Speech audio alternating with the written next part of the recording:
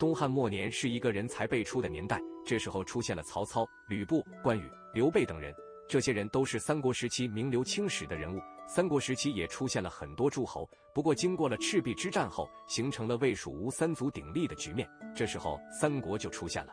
不过对于三国起始的时间以及结束的时间都是存在争议的。从东汉末年开始，三国的雏形就已经出现了，只不过没有形成魏蜀吴三足鼎立的局面。三国时期出现了关羽。张飞这样的武将，无论是三国中的哪一位武将，都是武力高强的。小说《三国演义》的出现，让后人对三国时期变得非常熟悉。《三国演义》中描写的打斗情节是非常精彩的，这一点让人们记忆犹新。《三国演义》是捧刘贬曹的，在小说中出现了很多厉害的蜀汉武将，包括关羽、张飞等人。关羽在历史上也是非常厉害的，正史中的关羽斩杀了两名武将，这一点已经是三国第二了。可惜的是。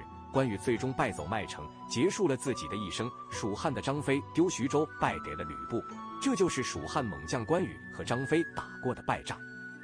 其实，在历史上有一个人击败过关羽和张飞，只不过因为跟错了主公，变得鲜为人知。他是谁呢？见古已开今，历史不仅是彷徨者的向导，也是百味人生的汇集。关注胜历史，带大家品味百味人生历史名人的有趣故事。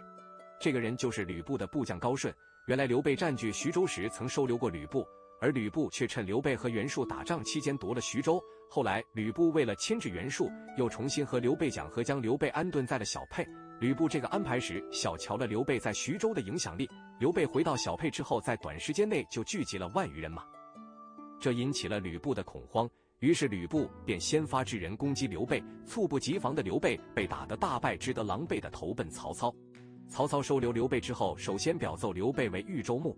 这时的曹操收留了刘备，甚至给了刘备一部分兵力。刘备有了戎马以后，集合本人的旧部，准备和吕布再战。吕布得知消息后，命令高顺派兵前去攻击刘备。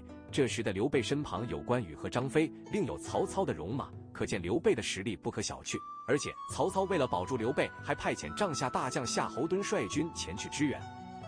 不过这场仗打的却很意外，《三国志·蜀书·先主传》记载：不遣高顺攻之，曹公遣夏侯惇往，不能救，魏顺所败，俘虏先主妻子宋布。夏侯惇不仅没救下刘备，还被高顺打得大败。而拥有关羽、张飞的刘备，再次让自己的妻儿变成了吕布的俘虏。高顺一战把刘备、关羽、张飞打得狼狈而逃，还打瞎了夏侯惇的一只眼睛，达到了他人生的巅峰。《三国志》里关于高顺的记载并不多。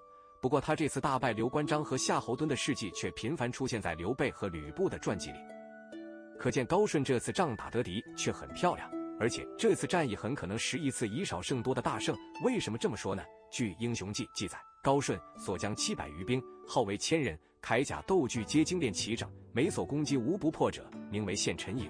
这里说的意思就是高顺帐下的兵号称有一千人，而实际不过七百余人。不过高顺带兵有方，他帐下的士卒个个都是精锐，因此当时人们称呼他的部队为县阵营。这是一支精兵队，从未被击败过，士兵装备精良，维护工作到位，这直接表明部队训练有素，纪律严明，代表高顺统治军队的能力非常好。可以说高顺是一位出色的军事将领，有勇气和技术，军队善，善于战斗。更为难得的是，高顺并不仅是一个四肢发达武将，他对于治国用人也有自己的一番看法。不过很可惜的是，吕布虽然知道高顺对他忠心耿耿，但却就是不重用他，甚至吕布还防范高顺，他将高顺的兵马归属于自己的亲属魏续统领，只有在作战的时候才让高顺统领自己的兵。由此可见，吕布不可能给高顺太多兵马去打刘备，甚至我们可以大胆推测，高顺仅仅用了七百余人的县阵营击败了曹刘联军。高顺不仅给吕布立下了不少战功，而且还救过吕布一命。《英雄记》记载，建安元年，吕布的部将郝萌私通袁术谋反，当时郝萌带兵攻入了吕布的府邸，吕布仓皇之下带着老婆孩子跑到了高顺的大营避难。高顺首先将吕布一家安排妥当，然后亲自带着部下杀回吕布的府邸和郝萌交战。郝萌哪里是高顺的对手？不到天明，高顺便平定了这次动乱。公元一百九十八年。吕布再次造反，投靠了袁术，而且让高顺和张辽一路去攻打刘备。曹操驰援刘备，却受到一场大败。这一年的九月份，刘备转投曹操帐下。随后，曹操亲身统帅雄师前往征讨吕布，成功为吕布出计谋摆阵营。但是吕布没有听从他的计划，由于他的老婆说陈宫未必是为了他好，并且陈宫和高顺两个人的瓜葛欠好，让他们一起作战可能会出现变故。吕布因为妇人之仁，不听陈宫之计，错失良机，兵败曹操，下邳城破。高顺、陈宫被侯成、宋宪、魏续叛将所捉拿。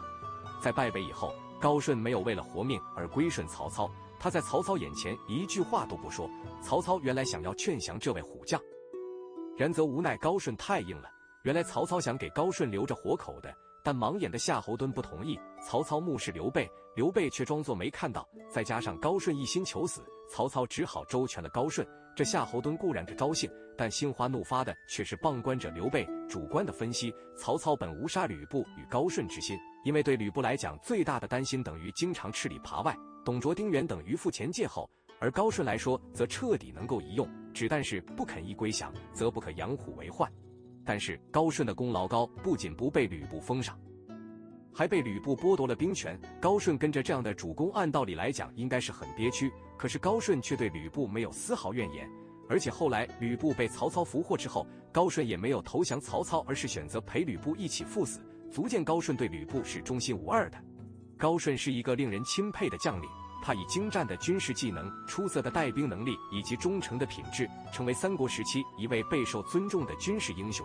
他不仅在战场上表现出色，而且还有良好的治国才能，足以成为一位伟大的政治家。然而，吕布却在他的才华面前瞎了眼，没有充分利用他的才能，反而剥夺了他的兵权。这对于高顺来说是非常遗憾的。高顺并非只是一个战争的英雄。他也是一个懂得治国理政的人。他曾对吕布建议，应该封赏将领，以奖励他们的勇气和忠诚，这直接促进了士兵的士气。同时，他还提出了建议，主张对民众征收更少的税款，这样可以增加人民的财富和士气，从而提高官兵的战斗力。高顺的悲剧在于他的主公吕布没有能够充分利用他的才华，而且还剥夺了他的兵权，这使得高顺感到非常失望和寂寞。尽管如此。高顺对吕布仍然忠心耿耿，没有流露出丝毫的怨恨。他的忠诚和勇气留下了深刻的印象，使他成为了历史上一位备受尊敬的军事英雄，一位在战场上屡屡获胜的将领，却因瞎子成了投奔主人，直到死亡也没有归降敌人。虽然他的名字可能不像刘备、曹操、孙权、关羽、张飞等名人那么响亮，但他的忠诚、勇气和才华却让我们一代又一代留下深深的敬意和怀念。